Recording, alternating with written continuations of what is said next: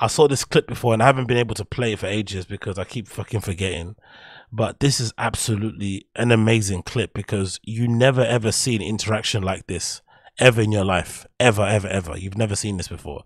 You have never seen anyone talk to this person in this way. And it's absolutely hilarious. So this is um, a lady called Iliza Shlesinger.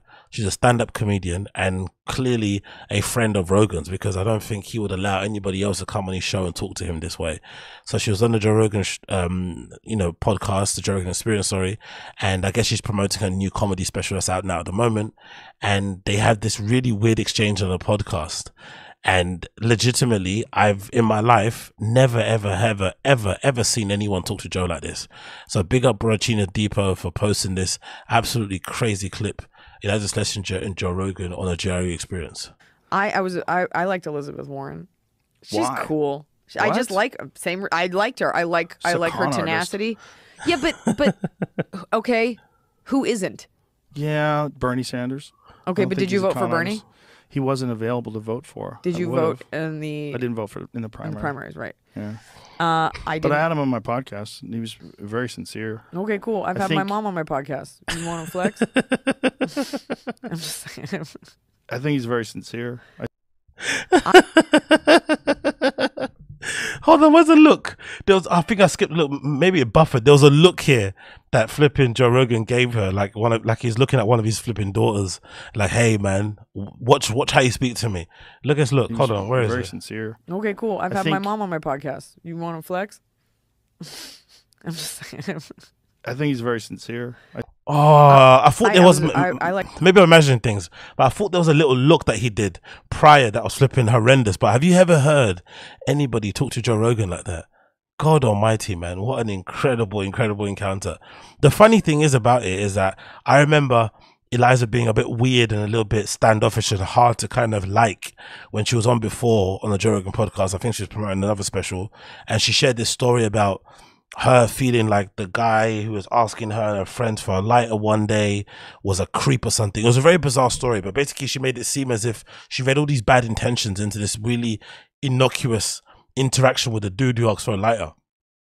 And I remember people going absolutely crazy, like, well, what is wrong with this woman? Why is she so defensive and all this sort of kind of things? But you know, she's maybe a feminist. That probably maybe answers a lot of the questions about how she kind of sees men. But then I also think in general, especially off the back of this clip I'm going to play next. Um, yeah, actually, got this clip I'll play next. Might understand, might explain it. I think being a somewhat, you know, she's not my, she's not for me. Don't get me wrong, and I don't really care for her in the slightest. But you know, amongst comedians, she must look like fucking Pamela Anderson in her prime, right? In terms of what comedians, especially female comedians, look like. So for an attractive female coming up, or for an attractive woman coming up in flipping the comedy scene, it must be really difficult to navigate on your own because essentially you're doing it on your own. Yeah, you're gonna find your peers, but you're kind of doing it on your own. You're working maybe a part time job, even if you've got you know money from your parents. You're a trust fund kid. You're going to all these comedy clubs on your own. You're going to do open mics on your own. You're going to do write what's the thing called? You're going to writers room on your own. Everything's kind of on your own. You have to kind of navigate this scene by yourself, surrounded by men and then probably is very difficult to navigate, especially in Hollywood where people are quite predatory.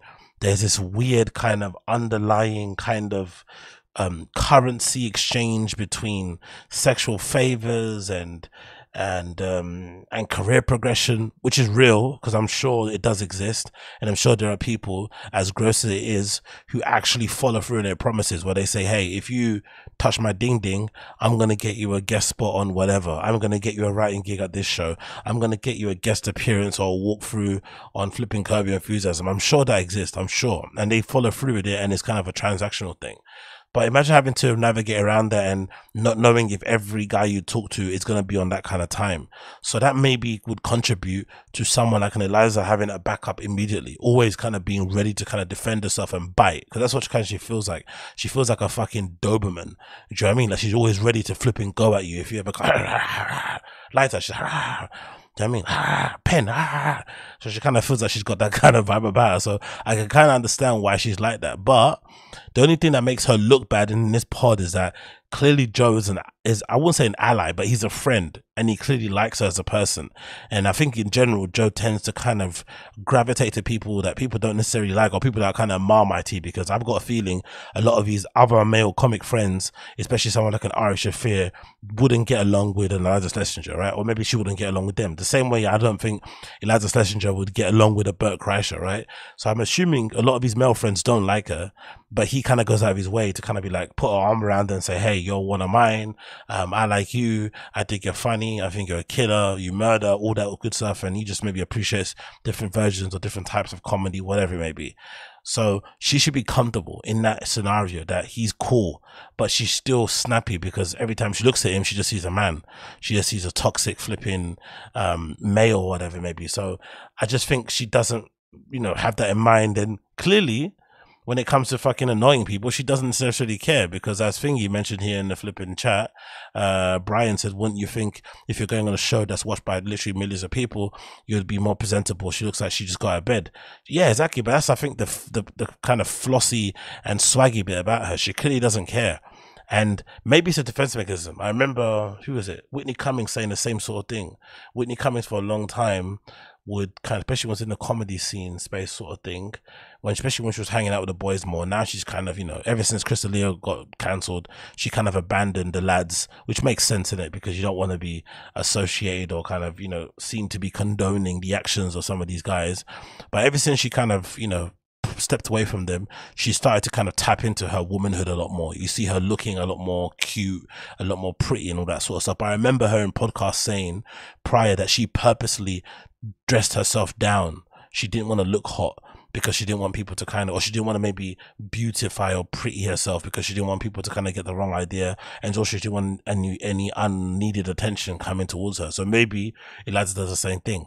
She's like, you know what? Fuck this. I'm, I'm in a, I'm in a comedy space anyway. And I want to kind of, you know, get away what the men get away with. If they can get away with going to a comedy store without, you know, changing their boxes in a week and wearing mismatched socks and clearly look like they haven't brushed their hair or brushed their teeth or showered in general, then I should be able to do it too but you know it just comes across weird when it's women because you know unfortunately there is a double standard but her really snapping at joe was absolutely hilarious because like i said before i have never in my entire life seen anybody, and I mean anybody, speak to Joe that way. And I think obviously you can only get away with it if you're his friend, and obviously you can only get away with it if you truly don't give a fuck about him and what he can do to your career. You're just there because you know he told you to kind of come there, sort of thing. Um, but yeah, so big up Iliza Shlesinger for being an absolute rebel rouser, for really uh, uh, adding another element to the whole situation and just causing a whole lot of chaos she's really, really hilarious. I'm not going to lie. Really, really hilarious. But for all the wrong reasons, of course, in it, because I watched some of her stand up and it's not for me personally. But hey, what can you do?